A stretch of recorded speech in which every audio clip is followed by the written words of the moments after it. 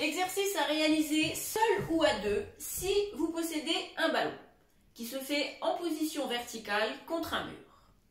Exercice de détente, exercice qui vous permet euh, de faire descendre le bébé et qui est très agréable. On place le ballon au niveau du creux du dos contre le mur. Les pieds légèrement avancés, ne doivent pas être en fait sous votre bassin mais un petit peu avancés.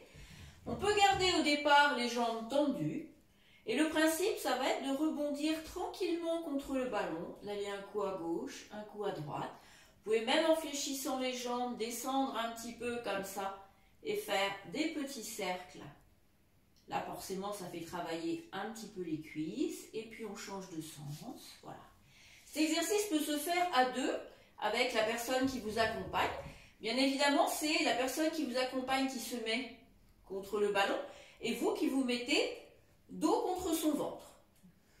Le papa ou la personne qui vous accompagne va pouvoir passer les mains autour du ventre du bébé et on berce tranquillement à deux comme ça, sur la gauche, sur la droite, on peut descendre.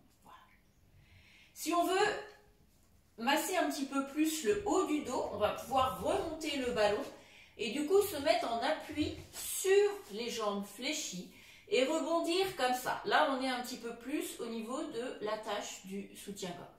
Et bien évidemment, on peut intervertir et associer les deux positions. Un petit peu comme ça, puis de nouveau, un petit peu comme ça.